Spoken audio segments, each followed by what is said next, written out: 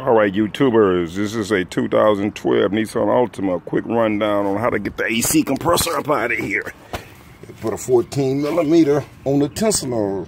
Tensioner's right there. Pull the tensioner back. Take your belt off. And also, you, and also you got to take this shield off to get the bottom bolts of the compressor out. Then you come up top here, right here.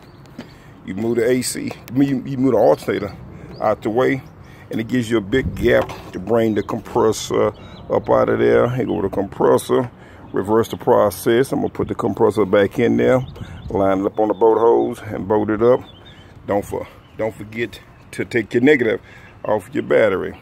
Quick rundown, 2012 Nissan Altima AC compressor removal or replacement or installation or whatever you want to say. Hey, y'all stay blessed and like always, bye, bye, bye.